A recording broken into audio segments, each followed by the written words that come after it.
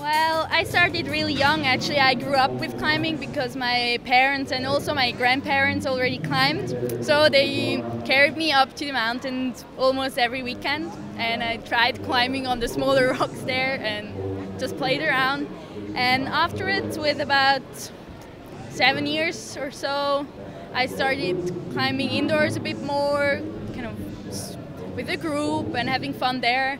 And then with 13, 12, 13, I really started training more, competing more, found the yeah the the fun in competition, and yeah. But there are surely really a lot of good spots for climbing in Switzerland. Not only bouldering, but also lead climbing, alpine climbing.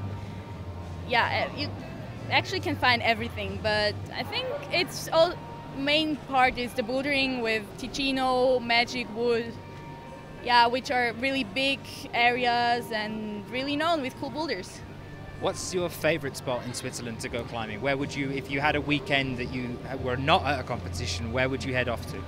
I think at the moment I would try to go to Magic Wood because just with the wood and everything, I, I really like, yeah, the, the feeling being there, like the nature around it, with the, the, the river beside, and yeah, it's kind of vacation, and yeah. What are the kind of blocks like in Magic Wood? What kind of, I mean, are there any particular specialist moves that you would go to work on? What kind of projects are there? Well, at the moment, I don't really have any projects anymore there. So, but well, there are still many, many, many to do. But yeah, I mean, there are classic boulders there, but also in Ticino. So it's kind of always hard to decide where to go, but I'm at the moment not really on projecting. I prefer just to go there, climb as, as many boulders as possible. Relax. Yeah. Talk to me about climbing in Switzerland. How well is it received as a, as a sport here? Is it well known? Obviously, you're very much an alpine nation anyway, but I mean, how much how much publicity does climbing get here? Um, well, it's a hard question because, yeah, you said we, we have a lot of mountains and alpinism is really known and yeah, a lot of people do alpinism, but like the competition and all sports climbing isn't that known yet and also like media it's not that present or it could be better. But if you compare it with like 10 years ago when I started climbing competitions, it's a massive change. Like people know that there's climbing.